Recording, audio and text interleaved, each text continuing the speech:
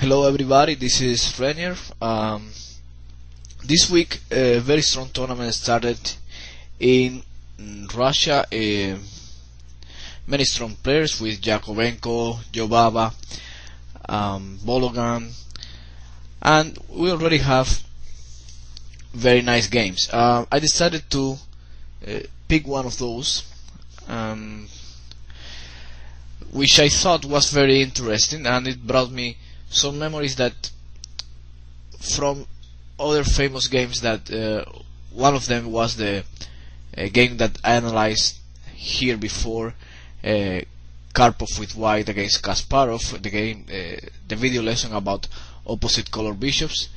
Uh, you will see how similar this game is. Well not exactly but still very similar. And also some people will uh, this game will remind it of a famous game between Fischer and Spassky. Okay, let's start with the game. d4, knight f6, c4, e6, knight c3. Um, Alright, usually Jobava plays here um, b4 or d5 intending to play uh, the Ragozin variation uh, of the queen's gambit.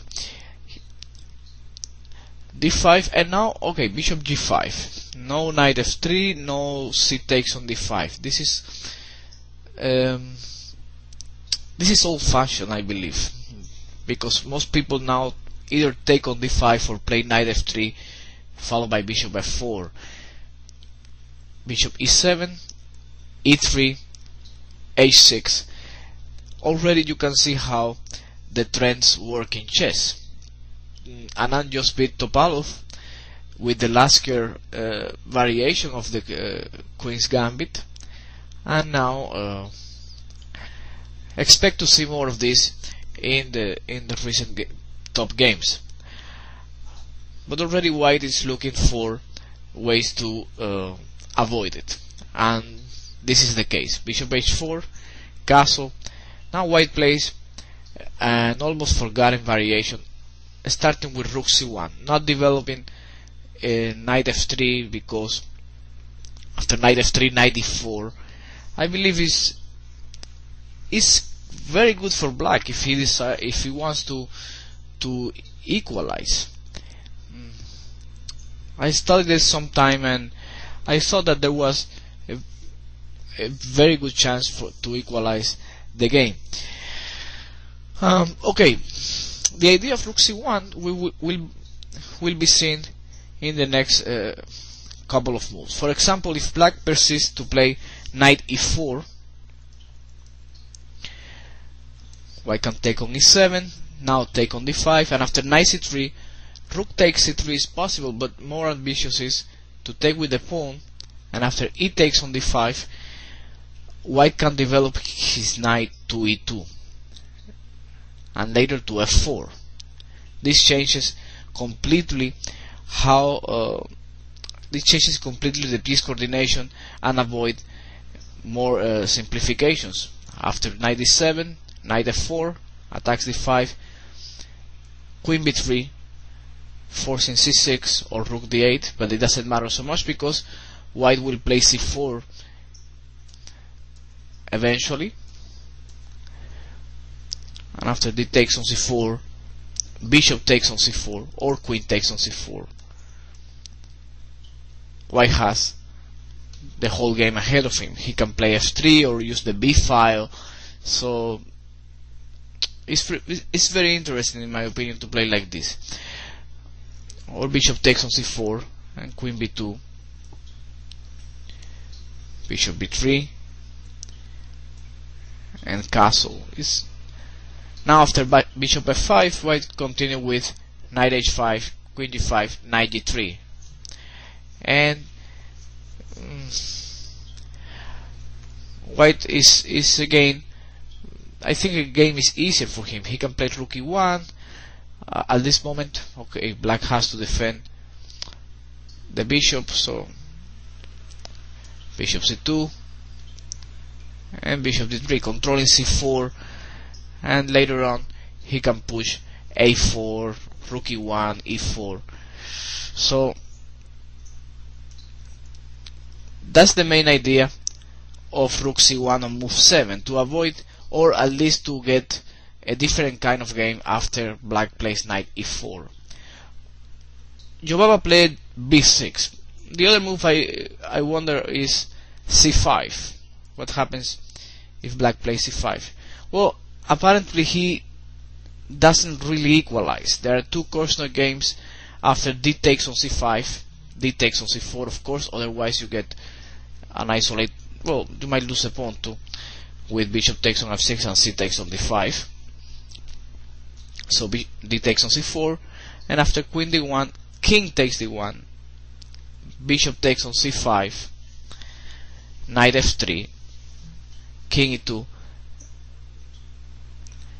and knight e5 that's the problem. Black had problems here in this type of position with the development of the bishop on c8 but if you develop the bishop then after knight e5 you lose the bishop pair.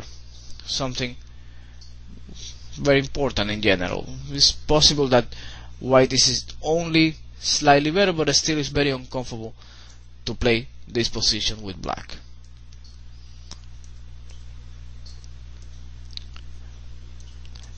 this is Korchnoi with the white pieces against uh, Sune Berg Hansen uh, year 96 rook d6 and f5 in general okay this is something uh, now if he takes on f5 bishop g3 both rooks on the same diagonal.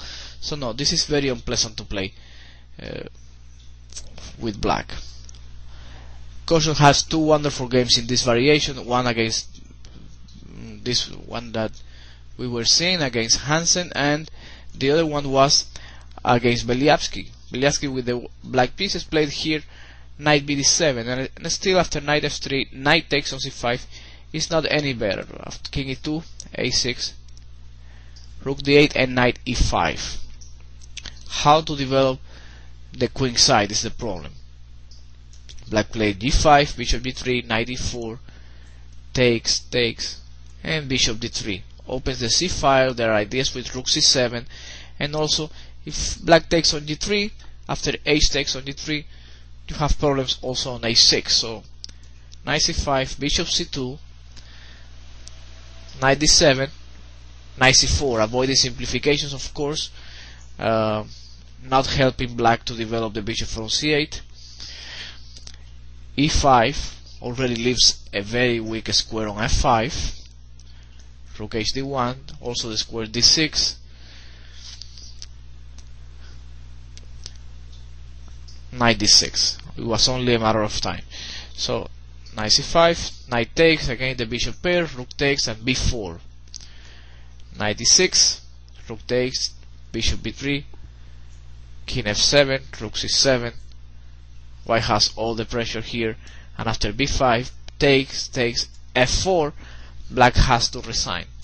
The, the problem is that if e takes on f4 white simply takes on f4 g takes on f4 bishop takes on f4 and he has to stop the threat of rook c6 a move like rook d4 in that position like after bishop takes on f4 doesn't really work because white simply plays g3 and rook takes b4 is met with uh, bishop d6 for example let me uh, move the pieces here. It takes on f4 the threat now would be rook c6 and if rook d4 I think just d3 and rook b4 is not possible because of bishop d6 and rook b takes b3 rook takes e7 and rook takes on e6 with a piece okay looking back into the main game b6 is the main move and the move I think is is good for black. It's, it's the best move I, I believe. C takes on d5 and now knight takes on d5 It's the right way to capture. Other ca you can take with the pawn but it's not it's not the same. After e takes on d5 mm, white still has has some pressure uh, in the center. For example, with normal moves like knight f3, bishop b7, bishop e2, especially on the c file, no? Knight bd7, and now after knight e4, um, all right, probably this this is not the best move, but white will continue with uh, queen a4, for example, rook fd1, or knight e5 at some point. Knight e4, bishop e7, queen takes, and now queen b3. Attacking d5, uh, knight f6, knight takes on e4, knight takes, and rook fd1. The problem is that black always has this pawn on c7. Uh, white is white wants to play knight e5 and knight c6. So in the end, black cannot play this position and avoid playing c5. c5 has to be played at some point. The problem is that when you play c5, uh, there is the uh, hanging pawns uh, arising after white takes on c5. For example, after a move like queen a3, the idea of knight d2 is there. Knight d2 trading the knight at defense c5, and after bishop f3, the, the weak pawn on d5 comes under attack. For example, rook c8. Of course, has to be with this king rook because uh, if you move the rook from a8, the pawn on a7 is hanging. So, knight d2, knight takes on d2, rook takes, um, of course, black cannot take on d4, the queen on e7 is hanging, so king f8 reminds me a little bit of the game uh, Fischer Spassky. But now here, d takes on c5. If b takes on c5, either bishop f3 or rook dc2 is very strong. Rook takes on c5 and rook d1. White has a very nice game. All the double rooks uh, bishop f3 on the next move so and queen b3 all the pieces attacking the d5 pawn so, so the right way to capture is by taking with the knight. Now after knight takes on d5 it takes bishop takes on e7 the game continues this way queen takes on e7 it's easier to defend uh, this pawn on d5 and white doesn't have the same pressure. Alright now, mm, the whole idea of rooks behind rook c1 is to continue the way Yakovenko played in the game. He played bishop e2. Very strange move, huh? uh, but the idea is, is to play bishop f3 and knight to e2. Still, this system is not uh, is not a great deal in my opinion black played the right move c5. In other games we can see how white uh, realizes the idea. For example, if black plays bishop e6, then bishop f3. Recently, Nikolic uh, with the black pieces played the move a5, which I don't think it solves the problems because knight e2, queen b4 check, queen d2, c6, knight f4, rook a7 black has uh, an unpleasant endgame here the weakness on c6 he, I, actually he doesn't have any active play.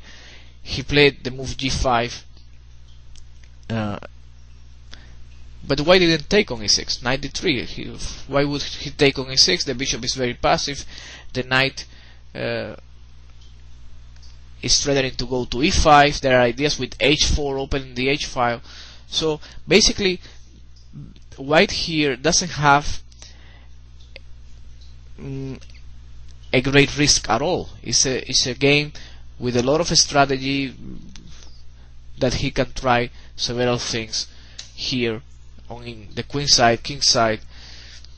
97 take rook h5 attacking the little weakness on g5 also the c6 pawn just look at the rook on a7 f6 e4 opening the game um, I, I really don't like this kind of play uh, for black. For example, after rook c7, rook h1, knight f8, e5. Simply, uh, it's just too good for white. King d7, bishop d1, e takes, rook h6 check, and knight e5. No, it's, it's a very very nice game with with white. Okay. Um. Okay, so not a5. What else? c5 had, has to be played, but then 92, 96, and castle. This is the main idea of the white system with bishop e2. This is the type of position that white wants. c4 b3 of course undermining mm, this uh, this pawn on c4 knight a5 knight c3 rook d8 and rook e1 white has extra pawns in the center just a, a slightly better position for him. White black's pieces are not too active. Just look at the knight on a5 if black had if white had moved the pawn from a2 is would be something interesting but at the moment um, it's nothing really important I think. Alright in the game c5 I believe this is the best move too. Yakovenko played bishop f3 and now Jobava usually he's very well prepared and my guess is that he wasn't familiar with this position. This is a new uh, opening in, in, his arsenal, so probably he was caught unprepared in this variation. If he was prepared, he would have played c takes on d4, which I believe is the right way to equalize completely. Uh, I analyzed this position and I couldn't find um, a way for for an advantage with white. For example, either way you take here, black will gain some some counterplay. Let's see, for example, bishop takes on d5. Then, after bishop b7, you have to take on b7, queen takes on b7, he's threatening to take on g2, but also he's taking on e3, and after d takes on e3, all the problems will disappear. So queen f3 is a chance, but queen takes, knight takes, takes on e3, and now knight a6 doesn't let the rook go to c7. It's hard to believe that uh, white is significantly better here. It's just very hard to believe this. Rook e7, black has no weaknesses, there sure, there is a couple of weak squares, for example, c6 or f5, that he can, I don't know, play knight d4 or something, but black is just very solid. Okay, so bishop takes on d5 doesn't bring any advantage mm, to white. The only chance is queen takes on d4. But now, the problem with white is that he's undeveloped. And he will lose another tempo now when black plays knight c6. For example, after bishop b7, knight e2, knight c6.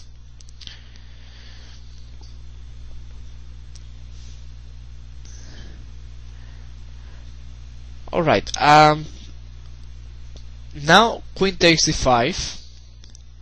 I think it's not it's not possible because rook d8 and knight e5 might be strong, or Also, I believe knight e5 immediately could cause some problems, but queen takes b7 there. This, this looks very unclear. Black has knight d3 check or queen b4. Um, there are many things in the air there. But anyway, nobody has taken on d5. even with rook a d8 followed by knight e5 or something, black black's or knight b4, uh, black's compensation is is obvious. So, queen d2, queen a4 is also a try but black still would play knight e5 I think queen d2 knight e5 and now uh, knight d4 okay knight takes on f3 and after knight takes on f3 black has the move bishop a6 and that's the key move. That's the move that uh, annoys white a lot. You black simply uh, stops defending the weakness and okay you can take the pawn. The game is open. The d is open. So uh, in the meantime you can castle. And how to castle is almost impossible. Black it's better white can try to play knight d4 rook c8 to take take and play f3 but then queen h4 g3 queen h3 and after rook g1 or you can try also king f2 with but how to get the queen out of h3 and if you can get the queen out of h3 how to develop the rook from h1 just look at this position. It would take a lot to play this with with white. I mean the chances for a real advantage are minimum. I believe black has a decent counterplay instead of knight d4 in this position white can try just to castle. Accept the double pawns on f3 I thought that this may be playable. Yeah but it's not so. Because at first sight if you manage to play knight d4 blockade the pawn on d5 even if you have double pawns on f3 it doesn't matter so much because the bishop on b7 is really bad. And the knight on d4 is, is very strong. So the double pawns don't matter so much. The problem is that after knight takes on f3 and now of course the move that everybody must be thinking d4 it's got to be good. Because after knight takes on d4 queen d5 is an interesting try now just to place the king on on that diagonal. But rook d8 is threatening to win the pawn on f3 and after f4 bishop f3 with the idea of queen d7 or queen h4 black has is, is equal, is completely equal. Just note that for example against queen c2 uh, it's still possible to play queen d7 because knight f3 queen g4 the queen will regain uh, the knight on f3 so uh, and has a perpetual check there so the game the position is completely equal. I don't know why black didn't take the pawn on d4 um, and probably like I said my guess is that he didn't know well the position. As for Yakovenko probably it, it was very wise to choose this uh, sideline and, and to see what, what happened. And what happened is that after rook d8 92 he just obtained the position that he wanted. This position when there is a lot of play ahead and uh, White has managed to avoid the simplifications of the Lasker variation. Knight c6 um, castle. Alright in the game by Geller with the black pieces Geller played in this position bishop b7 castle and knight d7 Spassky with the white pieces. Okay this is a another way to develop. The problem is that after knight f4 knight f6 Spassky now took on c5 and after b takes on c5 queen a4 it was not the right way to play because black of course played the move d4 and white didn't manage to play either queen a3 or rook fd1 and after bishop takes on b7 queen takes on b7 um, rook c5 is met with d takes on a3 and queen takes on b2 so I believe black is already with some initiative here the game was uh, agreed uh, here uh, in a draw but I believe black is the only here with chances now. Alright, but instead of d takes on c5 in this position that Spassky uh, played d takes on c5, he, he may have tried uh, queen a4 is the move I wonder. Hmm? Queen a4 doesn't let play doesn't let black play uh, rook a c8 and and white wants to continue with rook fd1 and queen a3 with the usual pressure. So I can guess that Jobava didn't like this type of position. So he played different. He played knight c6 and he wants to develop his bishop from c8 to e6 castle bishop e6 knight f4 this way he can play rook c8 but again queen a4 okay? With the threat of well the idea in general is to take on c5 and rook and queen a3 or queen a3 in the first place. Hmm? but also rook fd1 white simply wants to put pressure on the pawns on c5 and d5 okay now black plays c4 b3 and queen b4 probably thinking about this but now white has a very strong move move that I really like when I was watching the game. Um, avoiding the trade of queens the queen goes to a6 and the idea is uh, kind of funny. The, the queen wants to go to b7 yeah for example if c takes on b3 a takes on b3 queen takes on b3 this pawn is crazy to take it. 96 takes and then queen b7 he's threatening to win the knight on c6 so knight a5 and queen e7 black is is completely lost he's losing the e6 pawn and uh, most likely black will regret having played h6 in the opening. Okay so black played now queen a5 insisting with the trade of queens but then queen b7 there is no way to attack the queen from uh, on b7 so uh, now he played b5 b takes on c4, b takes, knight takes on e6, pawn takes on e6. And now you can see that the middle game is very interesting. Uh, the pawn on h6 already gives uh, lots of ideas of setting up a battery with the queen and the bishop against h7 for example and also the weak e6 pawn can be attacked right now with bishop g4. If rook e8, queen d7 wins the pawn. So black actually loses the e6 pawn. However, I believe Jobava had this uh, had seen this before when he started with this queen b4 and queen a5 but he thought that he might get some play in return after rook c7 bishop e6 king h8 now white played the move queen b2. We are probably here mm, queen b1 is slightly better because the queen controls this diagonal and it can go to g6 or f5 later on.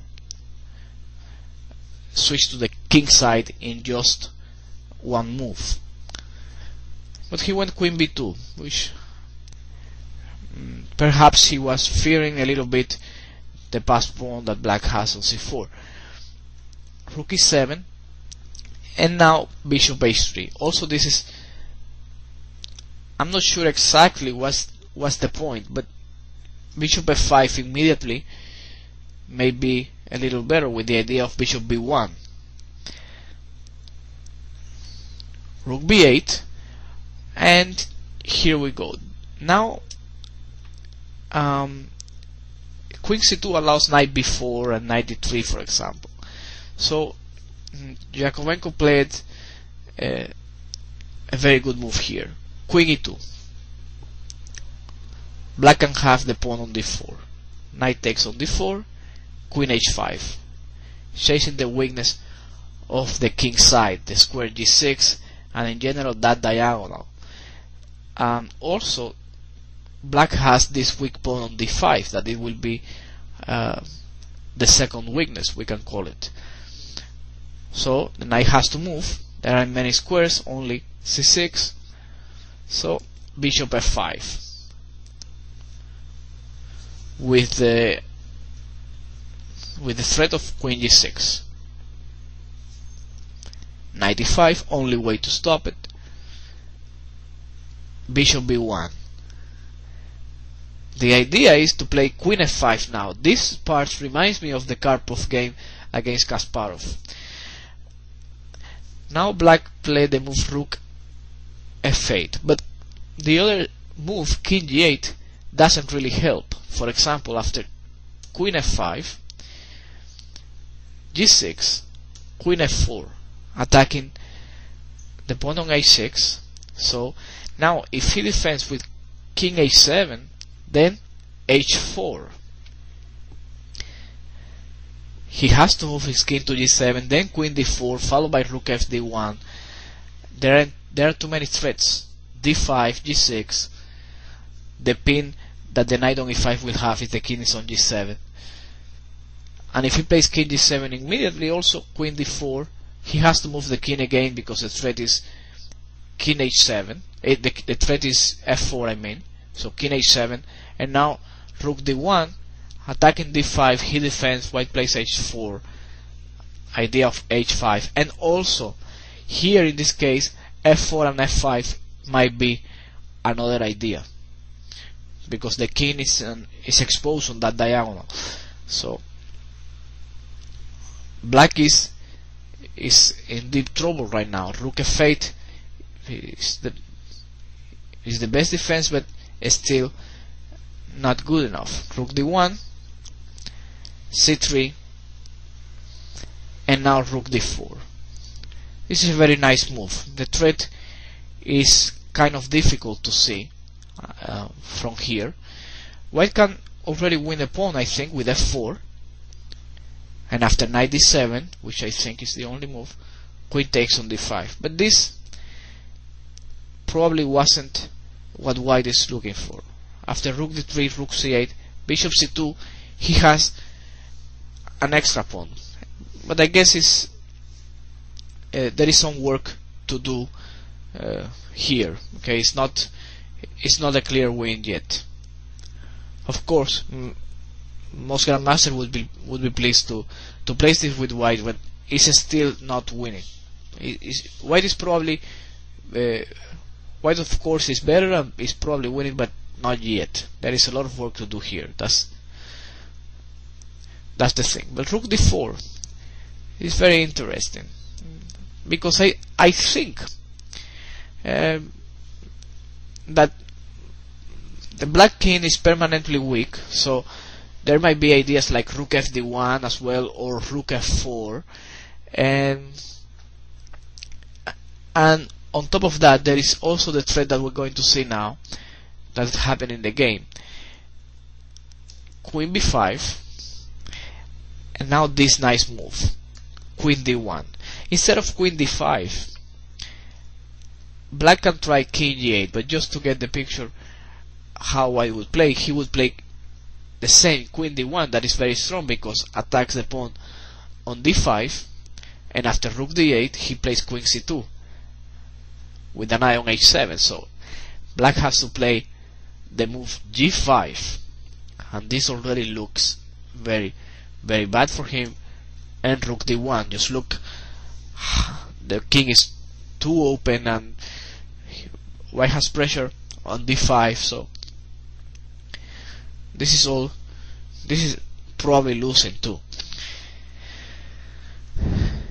Okay in the game black played queen b5 then queen d1 queen b2 is one way to to stop queen c2 but sacrifices a second pawn. I mean not a second pawn because white um, black regained the pawn on d4 but after rook d5 black is an white is an extra pawn and the threats continue on the king side. Now rook c7 bishop c2 and rook d7 this was probably what black was counting on. If rook takes on d7 knight takes queen takes e7 queen c2 the endgame is is very unclear. Black has the pass pawn on c3 the problem is that after rook d7 knight takes on d7 white doesn't have to take on d7 of course actually he plays this very strong move queen d3 threatening mate. The only move knight f6 and we are on move 36 I'm not sure what the time control is but I guess my guess is that there is uh, already a little bit of time trouble here. Um, because white starts playing too safe mm. he now plays a4 I think with with some thought here uh, Jakovenko would easily find the move e4 which seems to win because the threat is e5 and after okay black cannot take on a2 so there is no point in defending that pawn so rook e8 and now rook b1 the queen takes and e5 and white wins the next move he will play is probably e takes on f6 rook cannot take on e5 because the back rank threats rook b8 check uh, so I think this would this is an easy win for white here. Now he plays a4, but my guess is that in time trouble he's just making safe moves because the position is is winning already. He has an extra pawn, black is tied up on the king side, so rook c8, h3, queen b4, and rook d1. Like I said, safe moves. He, rook b1, queen c5, rook b7. In two moves he achieved what he uh, what he did later on. Rook d1, queen c5, queen d4. Of course, the endgame is completely winning if black trades the queens. Queen c7, queen d6, and now rook b1. Finally, knight e4, queen g6. Another annoying move, attacking the knight and also getting the queen back into the attack. Uh, against the black king. Knight f6, rook b7, threatening mate, rook c7, and now rook b5. Of course there are other moves that wins, rook b8 is also another idea, but rook b5 perhaps with the idea of rook f5. Queen c6. Okay, interesting here, may, maybe a6, but white has uh, this nice move rook b6 for example and after rook c6 a5 black is almost in succession black cannot do anything. So rook takes on b6 pawn takes queen b5 now e4 if you take on b6 white plays e5 so king g8 and now b7 queen takes, e5, and white wings.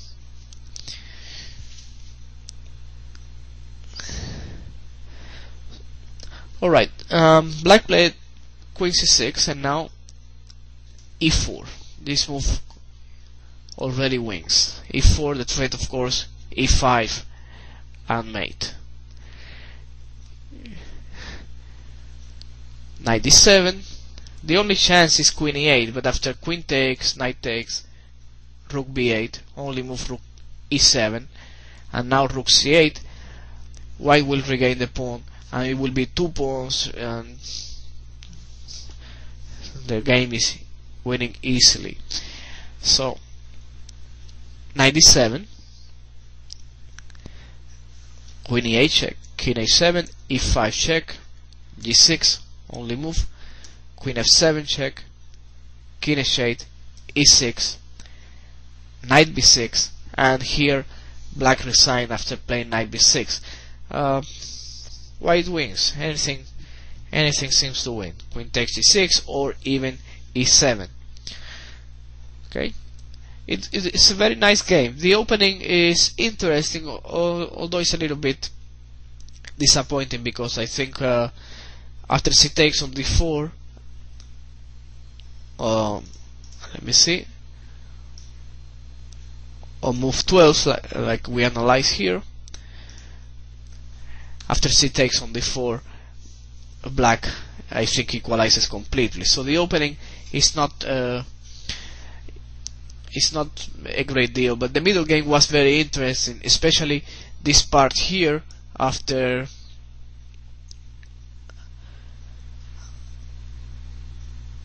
after queen h5 it reminds me of the weakness on the king side the weakness on the square g6 um, that we saw also in the games with the like I said Ka uh, Karpov against Kasparov and also a little bit like the game with um, Fischer against Spassky the game that he played the c4 the Queen's Gambit with White